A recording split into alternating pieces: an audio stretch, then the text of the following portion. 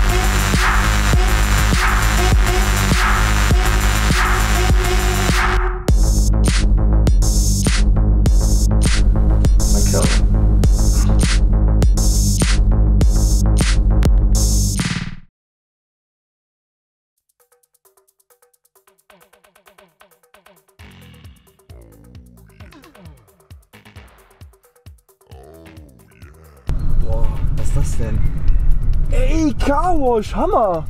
Lass mal reinfahren. Ja. Cool.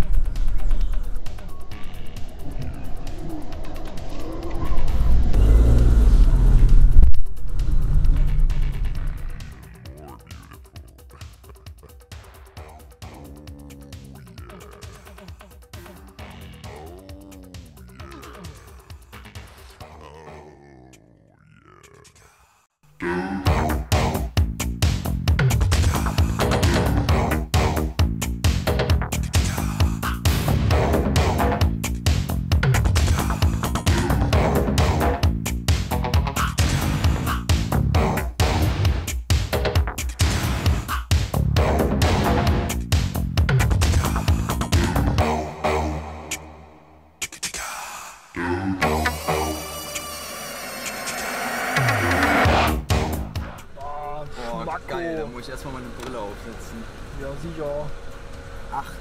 Scheiße. Was denn?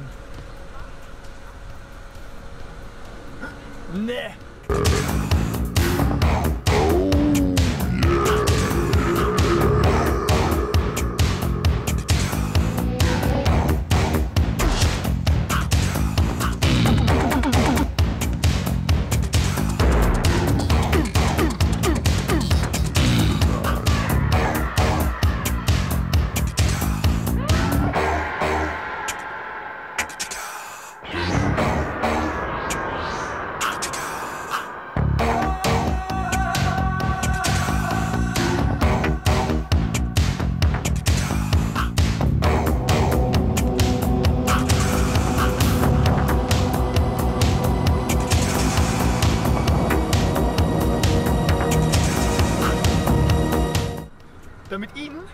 Keine peinlichen Momente mehr passieren, Brille Heinemann.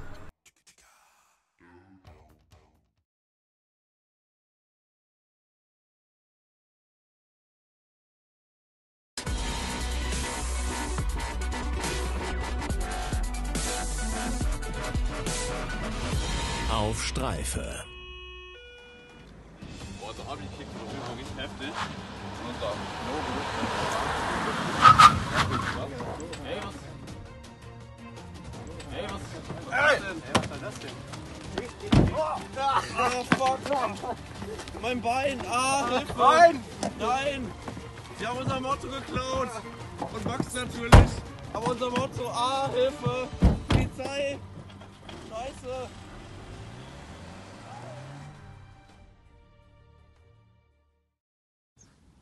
Ja, was machen wir jetzt? Nichts mehr zu tun. Auch gleich auf Meckes? Ja, normal. Lass mal irgendwo essen gehen. Easy, ne? Ja, Feierabend. Ja. Gleich. Krass. Hm? Haben wir doch noch was zu tun? Was ist das denn jetzt? Guten Abend. Heiner auf Streife. Schönen guten Abend, hier ist die Zentrale. Ja, bitte? Ich habe Was? wurde ein Schüler entführt vom HAG. Das Auto ist eine weiße Schräghecklimousine Okay, mit dem Kennzeichen KHG 31. okay, Sollte gut aufzufinden sein. Das ist unsere letzte Hoffnung. okay, machen wir. Schnapp die Schweine. Ja, dann mal los. Agent 3. Agent B. boys, bad boys. What you gonna do? What you gonna do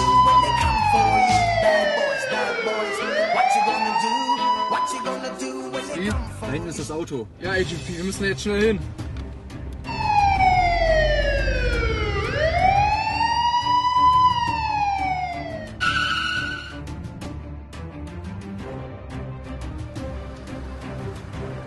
So, jetzt ist Schluss. Aussteigen.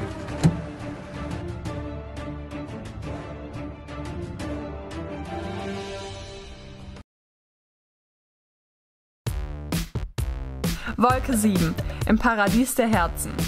Dieser Traummann will hier die Liebe seines Lebens treffen.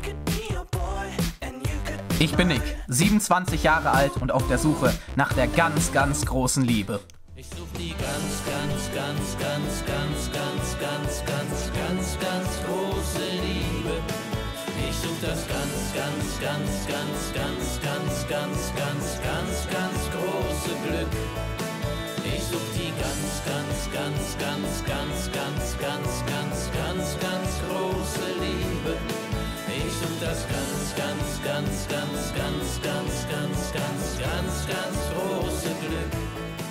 Ah, das passt ja gut. Dann kann ich ja direkt deine Cinderella sein für die nächsten Wochen.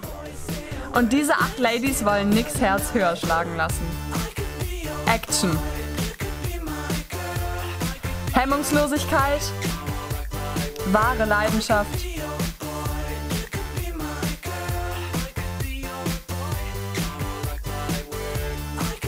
Und jede Menge Konfliktpotenzial.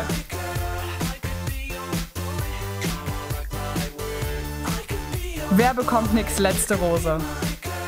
Ja, es war eine schwere Entscheidung. Ich habe mit euch allen wirklich, wirklich schöne Tage verbracht.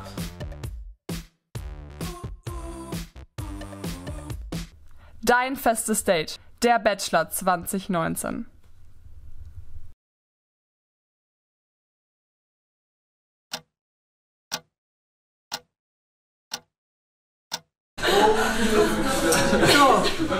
können wir das denn umschreiben? So dass wir keinen Bruch mehr haben. Julika. Und Abi.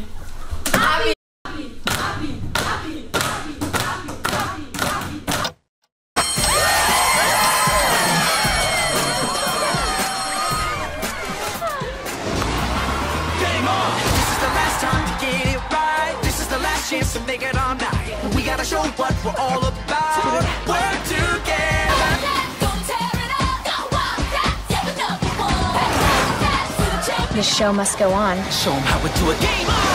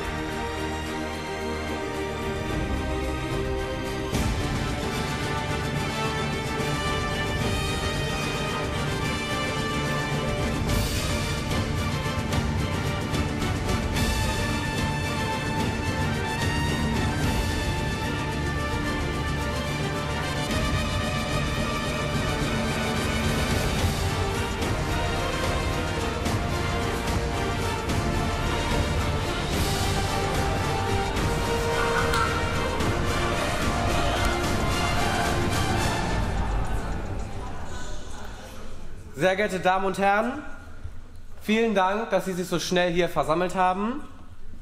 Bedauerlicherweise müssen wir Ihnen mitteilen, dass es einen Diebstahl gab. Gestern Nacht zwischen 1 Uhr nachts und 7 Uhr morgens wurde das Haar geklaut.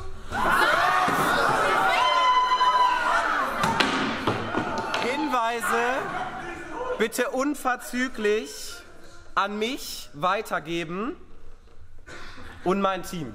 Also, ähm, ich möchte ja hier keinen beschuldigen oder so, ne? aber zurzeit werden ja Filme hier gedreht und diese ganzen Filmleute, die kommen mir schon nicht ganz koscher vor. Okay, wir gehen den Hinweisen nach. Vielen Dank für eure Aufmerksamkeit und Unterstützung. Wir werden jetzt in den ersten Raum gehen und nach Hinweisen suchen.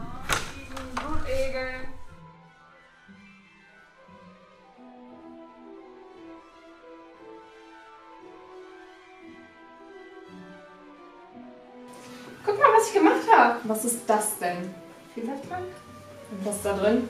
Blutegel, Flurfliegen, gemeines Horn von Zweihorn. Ist ja abartig. Sorry. Cut! Neuer Take. Und Action. Guck mal, was ich gemacht habe. Was ist das denn? Federtrank? Und was ist da drin? Blutegel, Flurfliegen, gemeines Horn von Zweihorn, Flussgras. Ist ja abartig. Sorry. Muss da nur noch, äh... Jo, sorry Leute, dass ich euch kurz unterbrechen muss. Unser Haar wurde einfach geklaut. Habt ihr da irgendwie eine Idee, wo das gelandet sein könnte? Unser Haar. Das Ja. war bestimmt die von gestern. Ja, die klauen uns alles. Ich habe keinen Zauberstab mehr. Unsere ganzen Requisiten sind ja. Wo finde ich die denn? Aber nur weiter. Ja, zwei, drei Räume weiter, irgendwie da. Okay, dann gehe ich mal da gucken. Vielen Dank. Finde unseren Zauberstab. Ja, und das Haar. Viel Erfolg. Tschüss. Tschüss. Neuer Take.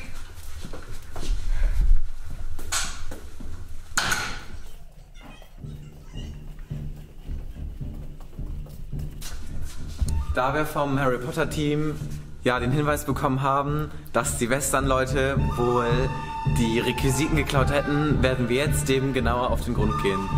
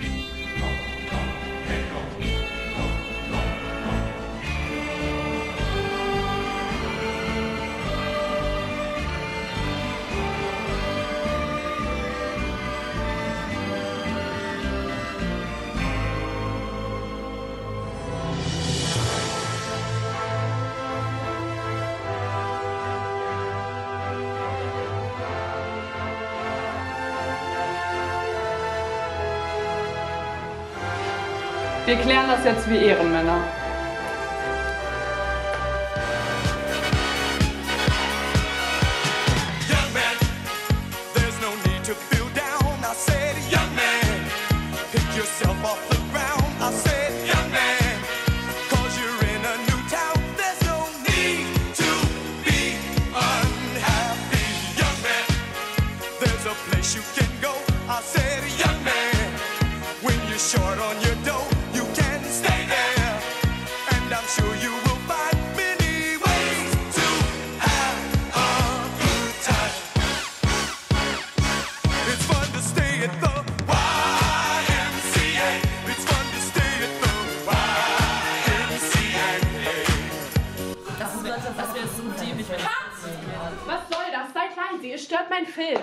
Sorry.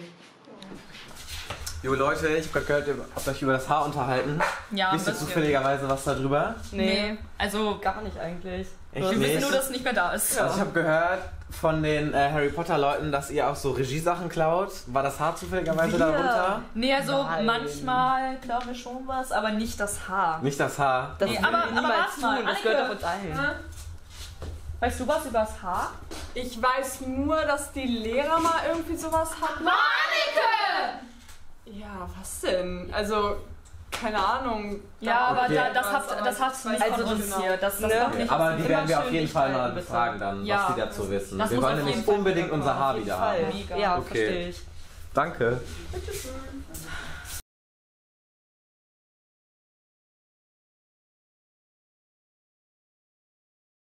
Okay, danke, dass ihr euch so schnell hier versammelt habt. Äh, wir haben ein großes Problem und zwar haben wir die Hinweise bekommen, dass unsere eigenen Lehrer wohl unser Haar geklaut haben. Und wir wollen jetzt rausfinden, wie wir weitergehen und besprechen, wen wir da äh, genauer kontaktieren wollen. Habt ihr Vorschläge? Also wer mir mega suspekt vorkommt, ist der Cornels. Ich meine, der kam hier an die Schule und war plötzlich stellvertretender Schulleiter. Das ist Aber ich glaube nicht, dass der das war, weil ganz ehrlich, was hätte der für einen Vorteil? der hat so viel zu verlieren. Ja. Das würde der nicht machen. Stimmt schon. Und was ist mit Krollmann? Ich meine, der schließt sich jede Pause in seinem Raum ein und der hatte mal einen Aktenkoffer dabei. Ich finde das schon sehr verdächtig. Ja, aber ich glaube nicht, dass den hier irgendwas interessiert. Ich, ich glaube, der will einfach nur seine Philosophie hier weitermachen und Ja. dann. Ja, Ja, seine seine Wissenschaft Wissenschaft oder Ja. so. Der will doch einfach nur seine Bücher schreiben. Okay, habt ihr noch weitere Vorschläge? Ja, was ist denn mit Herr Mielke? Irgendwie kommt mir sein Zahnpastalächeln immer ein bisschen mysteriös vor. Außerdem glänzt seine Stirn immer. Das kann nichts Gutes bedeuten. Meiner Meinung nach könnte das auch Frau Scholz sein. Die könnte das Mastermind hinter der ganzen Sache sein.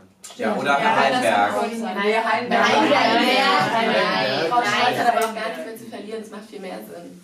Stimmt. Ja. Das ist ja ihr letztes Jahr, ja. Okay. Das ergibt Sinn. Was ist mit Herrn Feldmeier?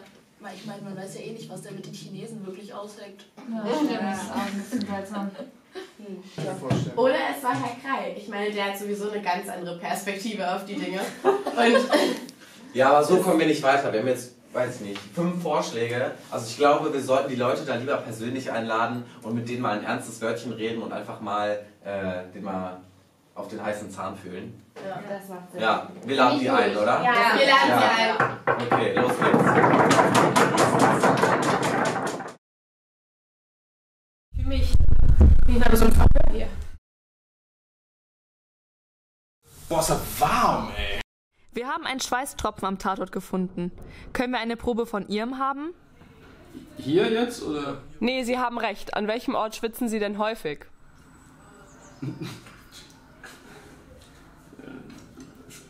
Sporthalle? Wann haben Sie das letzte Mal so richtig geschwitzt? Am Samstag erst. Womit wird der Schwitzweltmeister belohnt? Ähm, mit Steak. Womit kontrollieren Sie Ihren Schweißverbrauch? Es gibt so eine App. Mit wem schwitzen Sie gern gemeinsam? Der Dürren. Haben Sie eine spezielle Schwitzuniform? Keine Ahnung, das ist ganz normal LSX-reich. Ernsthaft normale Laufschuhe, deswegen. Okay, okay, das reicht, danke. Machen wir weiter. Wo waren Sie zur Tatzeit? In meinem Raum. In der Kaffeeküche. ähm, im Lehrerzimmer? Im Schwimmbad? Was haben Sie zur Tatzeit gemacht? Kunst und nochmal Kunst. Ähm, Klausuren korrigieren? Äh, schwimmen. Bungee Jumping. Ähm, Sport? Können Sie sich vorstellen, dass Herr Kaiser das Haar geklaut hat? Herr Kaiser ist doch eigentlich immer nett. Welche Lehrer am HHG sind kompetent? Ja, da gibt es noch. Ja, Was macht Herr Heinberg in seinem Unterricht? nix. Wie würden Sie Unterricht am HHG beschreiben? Ist eine Schädigung der Menschheit in jeglicher Hinsicht. Ne? Das unterstützt nur einen Mächtigen und alles andere ist Sklaventum. Nennen Sie uns Ihre beste Lüge. Ich würde mich niemals überfressen. Ich würde nicht saufen, weil das kann ich gar nicht. Wer glauben Sie hat das Haar geklaut? Frau Scholz, Wie sicher sind Sie sich? ähm, von der Skala von 1 bis 10 eine 11. So ein Skandal schädigt ja ganz schön den Ruf von Herrn Grannemann. Wer sollte der neue Schulleiter werden? Ich. Wie glauben Sie, ist der Täter am Personal vorbeigekommen? Mit Charme. Was ist das Dümmste, was Sie je gehört haben?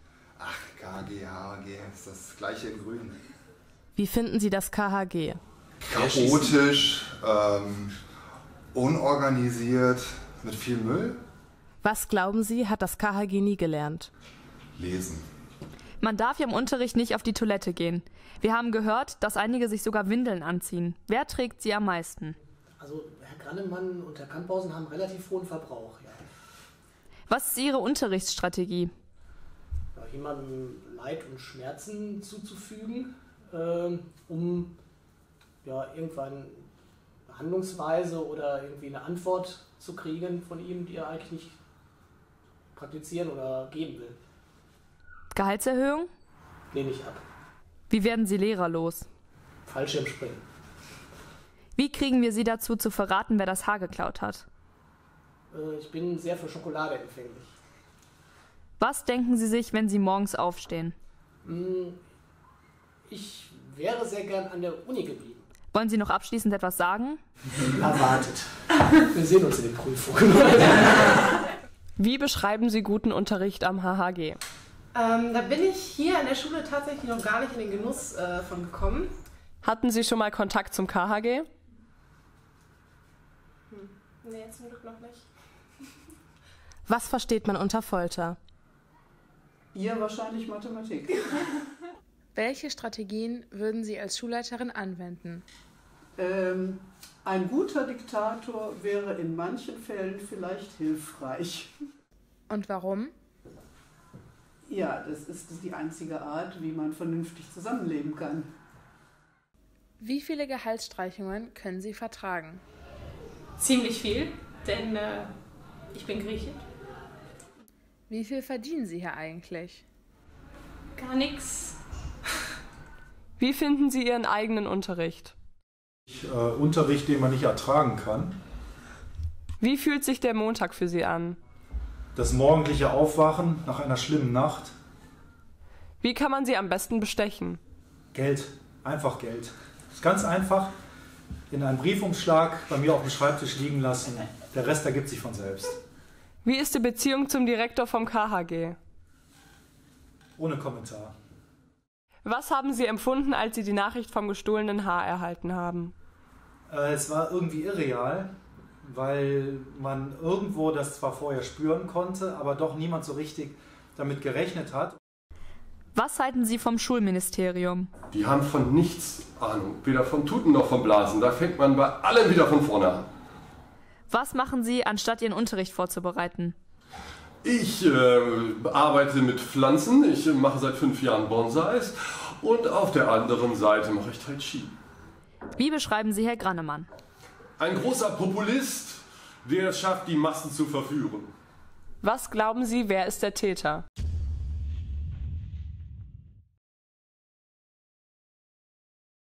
Was glauben Sie, wer ist der Täter? Herr Heidenberg. Heidenberg ist, glaube ich, ziemlich weit vorne. Ich glaube, Herr Heimberg. Eindeutig Herr Heinberg. Da gibt es kein Wenn und Aber. Wir haben von einer kriminellen Vergangenheit gehört. Waren Sie denn schon mal im Gefängnis? Ja, geht. Die letzten zehn Jahre, drei oder mal, drei Mal oder so, länger, mehr nicht. Wo waren Sie denn zur Tatzeit? Ach du liebe Zeit. Kann mich nie erinnern. Also, zurzeit sind Sie unser Hauptverdächtiger. Gott, hilf mir. Herr Feldmeier, Sie machen doch immer Bilder an unserer Schule. Ist da zufälligerweise was dabei? Ich muss die Bilder machen. Der Hanno sagt, ich muss die Bilder machen.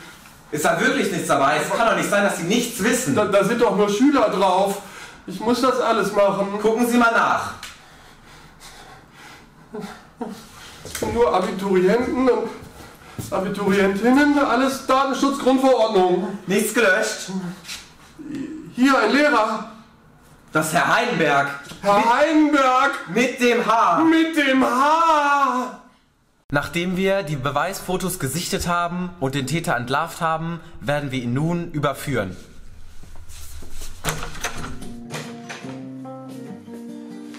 Was soll das? Was? Das Haar? Sie haben unser Haar geklaut. Nicht Haar Wir haben es genau gesehen. Wir Oh. haben Beweisfoto. Hier muss es sein. Genau in diesem Raum. Quatsch. Haar geklaut. Sie lügen. Es muss hier sein. Welche mit dem Haar? Irgendwo ist es hier. Ich habe schon eins. Wir haben es. Boah, nee. Hier ist es. Es war klar. Wir haben es zurückerlangt. Sie sind uns wenigstens eine Erklärung schuldig, warum Sie das Haar geklaut haben. Was soll ich denn machen? Wie Wie machen? soll ich denn sonst meine Kaffeemaschine bezahlen? Was hat denn Ihre Kaffeemaschine mit unserer Stufe zu tun? Das KHG hat mir versprochen, sie kriegen eine Kaffeemaschine, wenn ich ihnen dafür das Haar überlasse. Und das ist es Ihnen wert? Ja! Warum? Ja, weil die versprochen haben, sie würden ihre Schule in Karl-Heinz-Gymnasium umbenennen, wenn sie das Haar kriegen. So geht das nicht. Ich werde das Haar jetzt konfiszieren Auf keinen Fall, das ist und mein Haar. mitnehmen. Und lass das doch bloß das Haar. Haar. Lass das ist von Haar hier. Stufe. Mein Haar. Unserer Mein Stufe. Haar. Das ist nicht Ihr Oh, auf Eigentum. jeden Fall. Das ist nicht Ihr Eigentum. Auf jeden Fall.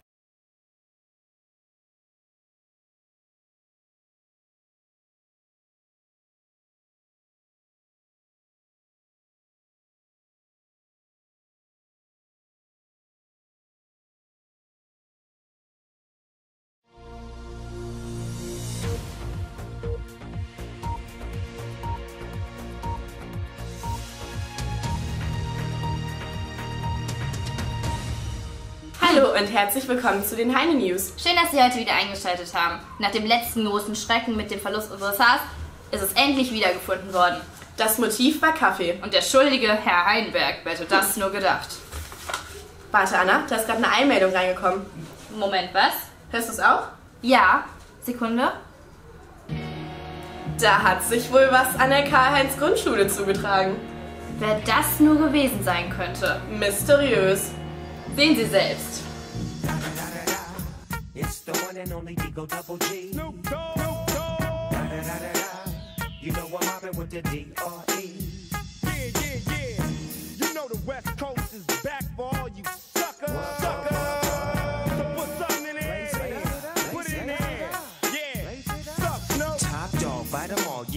Burning it up. DPGC, you should be turning it up. CPT, LBC, yeah, we hooking back up. And when they bang this in the club, baby, you got to get up. Cuz homies, thug homies, yeah, they giving it up. Low life, yo life, boy, we living it up. Taking chances while we dancing in the party Also, wir haben jetzt 23.48 Uhr und fahren jetzt los zum KAG. Jungs, die Mission beginnt. Vor, vor, vor, vor. Yeah, nigga, I'm still fucking with you. Still waters run deep. Snoop Dogg and D.R.E. Nah, nah, nigga. Guess who's back? Still. Still doing that shit, Andre? Oh, for sure. Yeah.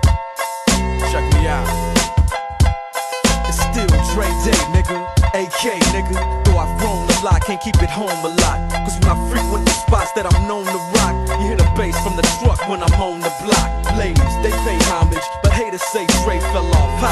my last album was The Chronic.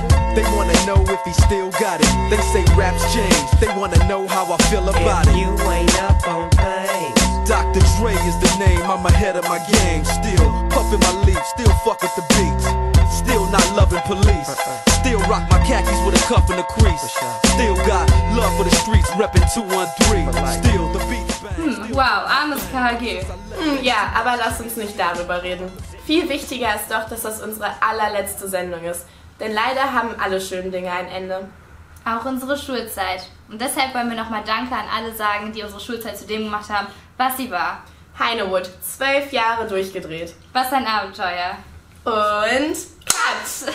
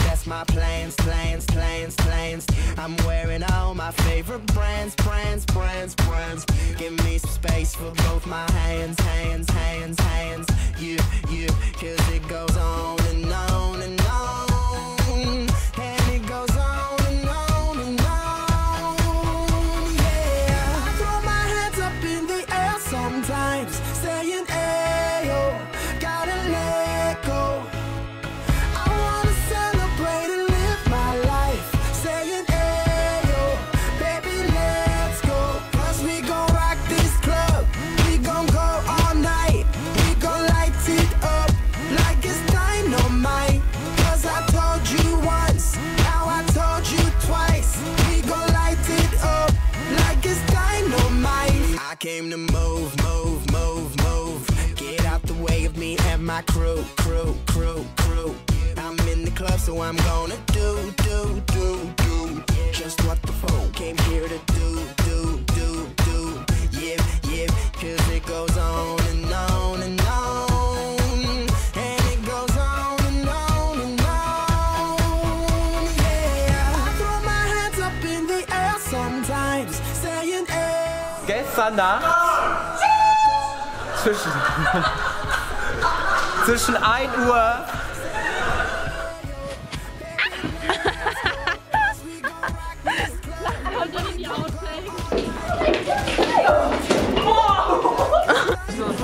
Ja, ja. So, ähm, gut. So, als nächstes Shop. Alles klar. Also. Zuhören. Stopp, nochmal. Ich habe gesagt, das ist so wack. Man hört das alles. Warte, Anna, da hat sich gerade eine Eilmeldung bei mir eingeschaltet. Sorry.